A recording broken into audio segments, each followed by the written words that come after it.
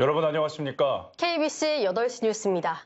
더불어민주당 지도부가 오늘 광주에 내려와 추석 명절을 겨냥한 호남 구회전을 펼쳤습니다. 두 차례 연기됐다 열린 광주 전남 예산 정책 협의회에서 민주당은 SOC 예산 홀대론을 의식하며 호남 예산을 확실히 챙기겠다고 거듭 강조했습니다.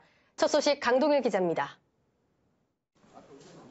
광주를 찾은 더불어민주당 지도부는 호남 SOC 예산 논란으로 동요하는 민심 달래기에 집중했습니다.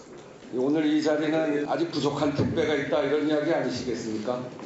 그 예산을 책임지는 원내가 오늘 이야기를 충분히 들어보고 부족한 택배가 뭐가 있는지를 꼼꼼히 살펴보겠다는 말씀을 드리면서 추미애 대표는 다른 지역의 SOC 예산이 대폭 깎인 것과 비교하면 호남 예산은 홀대가 아니라고 해명했습니다. 다른 지역은 팍팍 깎이는데 호남은 가급적 지키려고 많이 애썼거든요. 호남 홀대가 아니고 호남 환대입니다.